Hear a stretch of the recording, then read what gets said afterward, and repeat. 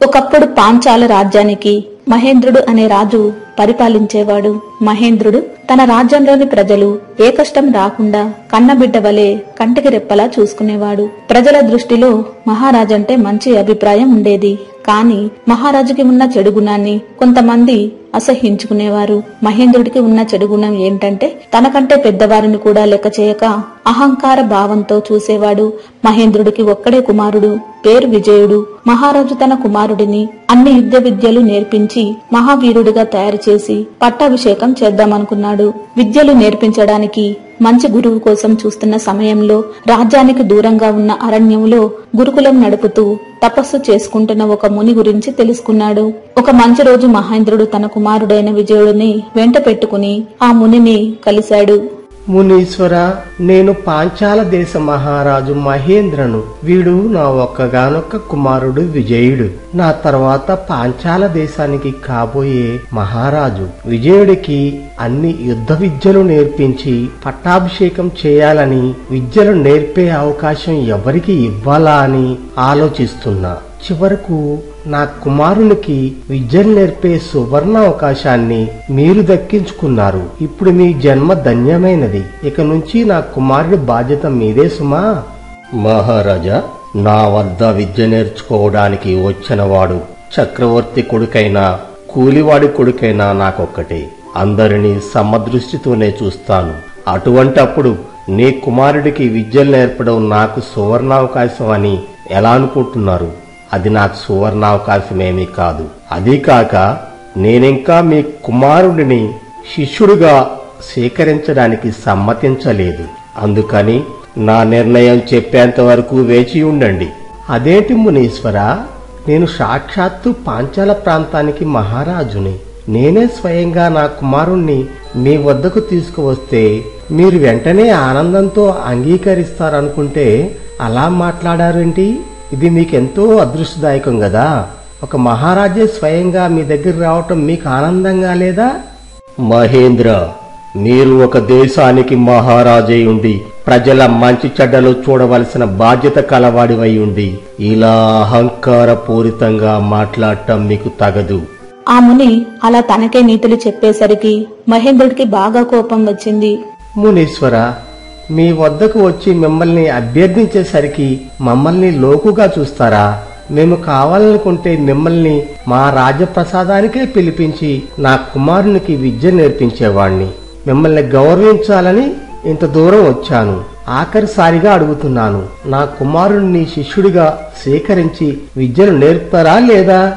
మహారాజా అరణ్యంలో తపక్ చేసుకునే ముళ్ళం మేము. మమ్మల్ని ఆజ్ఞాపించడం బెదిరించి మమ్మల్నేమీ చేయలేరు.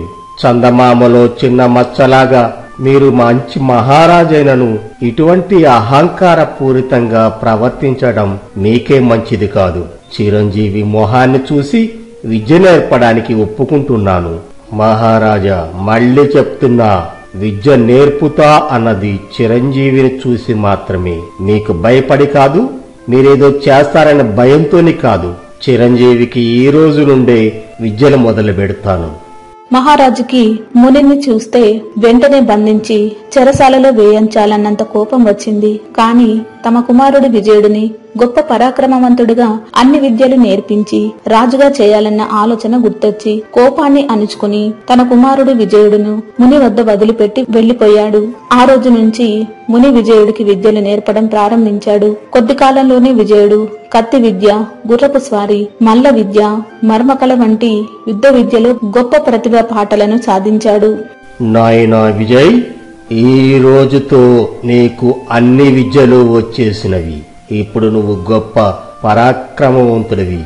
వెంటనే రాజధానికి వెళ్ళి పట్టాభిషిక్తుడవై మంచి రాజుగా కీర్తి ప్రతిష్టలు తెచ్చుకో. నీకు నా ఆశీస్సులు ఎల్లవేళ్ళా ఉంటాయి. వెళ్ళు నాయనా. గురువర్య తక్కువ సమయంలో నేను ఎంతో శ్రమపడి ప్రత్యేక శ్రద్ధ తీసుకొని నాకు ఎన్నో విద్యలు మెలకువలు నేర్పించారు. దీనికి గాను తమరికేదైనా గురుదక్షిణ ఇచ్చుకోవాలనుంది. ఏమి కావాలో సెలవీయండి గురువర్య. నాయనా విజయ్ నీ గ్రహణ శక్తి అమోఘమైనది. నేనెంతో మందికి విద్యలు నేర్పించాను కాని వారందరూ నేను చెప్పినది చెప్పినట్టు ఆచరించడానికి చాలా రోజులు పట్టేది. కాని నువ్వు నేను చెప్పటమే తడవుగా సూక్ష్మ మెలకువలను సైతం అవలీలగా నేర్చుకున్నావు. నీలాంటి శిష్యుడు నాకు లభించడం నాకు సంతోషదాయకు నాయన. నేనుండి ఎటువంటి గురుదక్షిణ ఆశించడం లేదు నాయనా. గురువర్య మీకు గురుదక్షిణ ఇవ్వాలని నా మనసు కోరుకుంటుంది. దయచేసి నా అభ్యర్థనను కాదనకండి. ఏదైనా అడగండి గురువర్య. నాయనా విజయ్ నువ్వంతగా అడుగుతుంటే కాదనలేకపోతున్నా. నీ సంతృప్తి కోసం గురుదక్షిణ కోరుతాను కాని ఇప్పుడు కాదు. అవసరమైనప్పుడు అడుగుతాను నాయన. ఇక వెళ్ళు. విజయుడు మునికి నమస్కరించి అక్కడి నుండి రాజధానికి వచ్చాడు. సర్వ విద్యలను ఆరితేరి పరాక్రమవంతుడై తిరిగి వచ్చిన కుమారుడిని చూసి మహారాజు ఎంతో సంతోషించాడు. అయితే లోగడతాను ముని వద్దకు వెళ్ళినప్పుడు తనకు మహారాజు అని గౌరవించకుండా తక్కువ చేసి మాట్లాడిన మాటలు గుర్తొచ్చాయి. ఎలాగైనా తన కొడుకు విద్యలు నేర్చుకుని వచ్చాక ముని మీద పగ తీర్చుకోవాలనుకున్నాడు. ఆ మన్నాడు కొంతమంది సైనికులతో మాట్లాడాడు. ఎవరక్కడ? వెంటనే నా కుమారునికి విద్య నేర్పిన ముని ఆశ్రమానికి వెళ్ళి మమ్మల్ని శరణు కోరేంత వరకు ఆశ్రమం మొత్తం నాశనం చేయండి.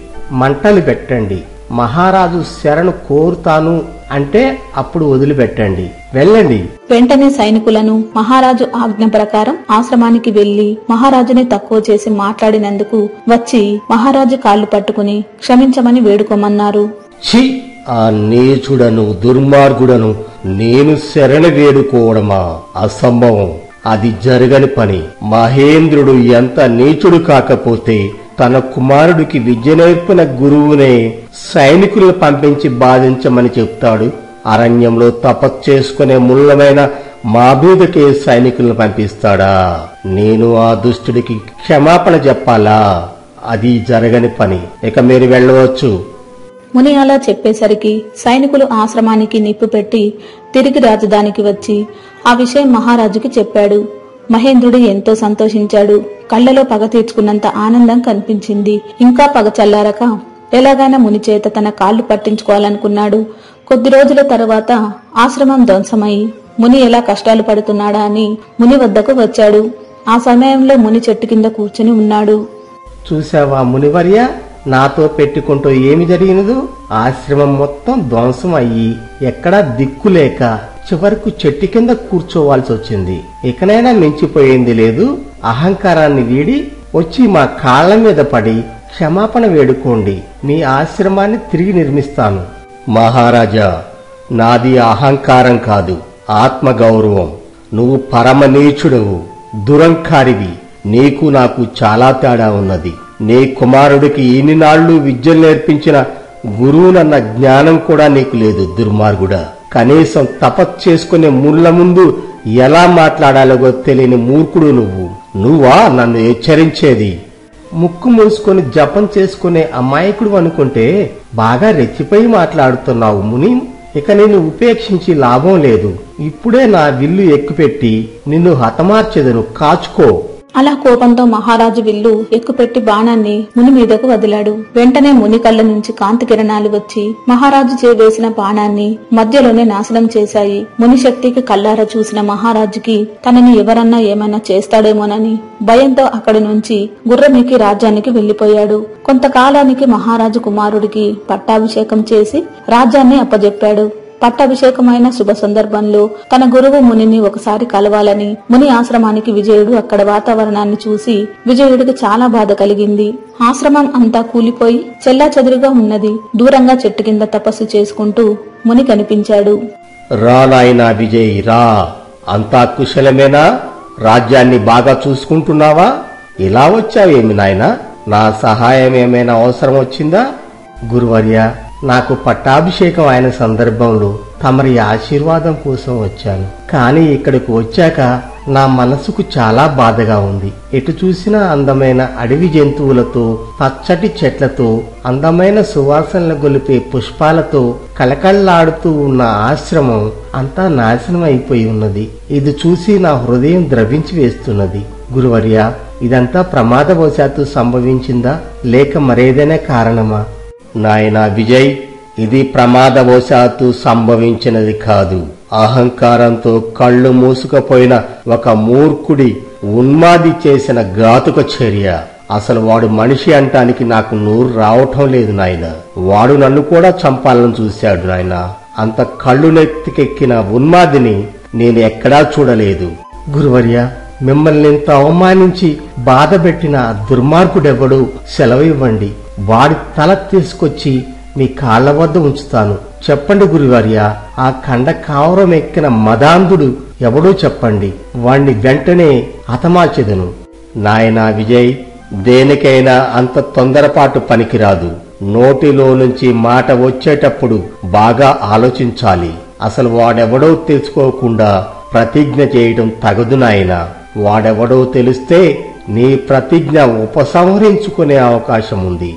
జాగ్రత్త. గురువర్య నాకు అన్ని విద్యల్లో శిక్షణ ఇచ్చి మంచి బోధనలు చేశారు. ఈ ఆశ్రయం మీదే కాదు ఇక్కడ తిరిగి విద్యలు నేర్చుకున్న నాది కూడా. అంత అందమైన మనోహరమైన ఆశ్రమాన్ని ధ్వంసం చేసిన దుర్మార్గుడిని ఎలా వదిలిపెట్టమంటారు? అయినా నేను చేసిన ప్రతిజ్ఞ నెరవేర్చనని ఎలా భావిస్తున్నారు గురువర్య? నన్ను శంకించక ఆ కిరాతకుడెవడో సెలవివ్వండి. ఇప్పుడే వెళ్ళి వాణ్ణి హతమార్చి వాడి తల తీసుకొచ్చి నీ పాదాల వద్ద ఉంచుదెను. నాయనా విజయ్ నా ఆశ్రమాన్ని ధ్వంసం చేసి నన్ను ఇష్టమొచ్చినట్టు తిట్టి హతమార్చాలను చూసిన ఆ ఉన్మాది మరెవరూ కాదు. స్వయానా నీ తండ్రి మహేంద్రుడే. ఇప్పుడు చెప్పు నాయన నువ్వు చేసిన ప్రతిజ్ఞ నెరవేర్చగలవా? గురువర్య ఇంత దుర్మార్గానికి కిరాతకానికి ఒడిగట్టింది నా తండ్రి మహేంద్రుడా. ఇంతటి నీచుడైన కిరాతకుడైన గుణం లేని తండ్రి కడుపునా నేను జన్మించింది. ఇంతకంటే ఘోరం ఇంకొకటి లేదు గురువర్య. నాకు జన్మనిచ్చింది నా తల్లిదండ్రులే అయినా విద్యాబుద్ధులు నేర్పి జ్ఞానాన్ని ప్రసాదించింది మీరు. అందుకే నేను నా గురువుకిచ్చిన మాట కట్టుబడి ఉన్నా. ఇప్పుడే వెళ్ళి ఆ దుర్మార్గుడి తల నరికి తమరి పాదాల వద్ద ఉంచుతాను. గురువర్య నాదో సందేహం. అసలు నా తండ్రికి మీ మీద పగెందుకొచ్చింది మొదటి నుంచి జరిగిన తన తండ్రి అహంకారంతో మాట్లాడటం దానిని తాను తప్పు పట్టడం అందువల్ల మహారాజు తన మీద బాగా పగ పెంచుకుని చంపాలనుకోవడం అంతా విజయుడికి వివరించాడు. గురువర్య మీరు నా తండ్రి గురించి చెప్తుంటే పగతో నా నర నరాల్లోనూ రక్తం మరిగిపోతున్నది. నేను ఈ క్షణాన్ని పోయి నా తండ్రిని తీసుకువచ్చి మీ పాదాల వద్ద ఆయనకు శిరఛేదనం గావిస్తాను. నాయనా విజయ్ ఒక్కసారి ఆగు. నీకు జ్ఞాపకం ఉంది గదా? నీకు విద్యలు నేర్పినందుకు గాను గురుదక్షిణ కోరమని నన్ను అప్పట్లో ఒత్తిడి చేశావు. దానికి నేను ఇప్పుడు కాదు తగిన సమయంలో గురుదక్షిణ అడుగుతాను అన్నాను. గుర్తుకు ఉందా నాయనా? ఇప్పుడు నాకు నువ్వు గురుదక్షిణ ఇవ్వలసిన సమయం ఇదే. ఆహా ఏమి నా భాగ్యము? మీరు నన్ను గురుదక్షిణ ఎప్పుడు కోరతారా? నేను మీకు గురుదక్షిణ ఎప్పుడు ఇవ్వాలా అని ఎదురు చూస్తున్నాను. అడగండి గురువర్య మీకేమి గురుదక్షిణగా ఇవ్వమంటారు? నాయనా విజయ్ నాకు గురుదక్షిణగా నీ తండ్రికి ప్రాణభిక్ష పెట్టు. అతనిని ప్రాణాలతో వదిలేయి నాయన అదే నా గురుదక్షిణ. గురుదేవా మీ ఆజ్ఞను శిరసా వహిస్తాను కాని నాదో సందేహం. మిమ్మల్ని ఇంతగా అవమానించి హింసించి ఆశ్రమాన్ని ధ్వంసం చేసిన కిరాతకుడిని ఎందుకు వదిలిపెట్టాలనుకుంటున్నారు? నన్నెందుకు చంపవద్దంటున్నారు? ఇందులో ఏదో మర్మం దాగి ఉంది. అదేంటో దయచేసి చెప్పండి గురుదేవా. నాయన విజయ్ నేను సర్వసంగ పరిత్యాగిని. నాకు పగలు అపకీర్తి భయం కీర్తికాంక్షలు ఉండవు. నాకు కీడు చేసిన వారిని గట్టిగా హెచ్చరించి క్షమించి వదిలేస్తానే గాని వాళ్ళపై పగ సాధించేందుకు పరోక్షంగా కాని ప్రత్యక్షంగా కాని పూనుకోను. అసలు పగలు ప్రతీకారాల వల్ల మనిషికి వనగూరేది ఏమీ లేదు నాయన. మన పని మనం చేసుకుపోతున్న సమయంలో కొంతమంది దుస్తులు మన దారిని మళ్ళించి చెడువైపుకి తిప్పే ప్రయత్నం చేస్తారు. మనం పతనం కావడమే వారికి కావలసినది. అటువంటి సమయంలో మనం చాలా జాగ్రత్తతో వ్యవహరించాలి. మనిషి అన్నవాడు పగ ప్రతీకారాలు వదిలి క్షమాగుణాన్ని అలవరుచుకుంటే లోకంలో ఇన్ని అగాత్యాలు జరగవునాయలా అందువల్లనే నిన్ను అలా కోరాను. ముని చెప్పిన అమూల్యమైన మాటలు నీతి వాక్యాలు విని సంతోషంతో ముని ఆశీర్వాదం తీసుకుని విజయుడు తిరిగి రాజధానికి బయలుదేరాడు. మీకు మా ఛానల్లోని స్టోరీస్ అన్ని నచ్చినట్లయితే లైక్ చేయండి షేర్ చేయండి సబ్స్క్రైబ్ చేయండి. అందరికీ థ్యాంక్ యూ అండి.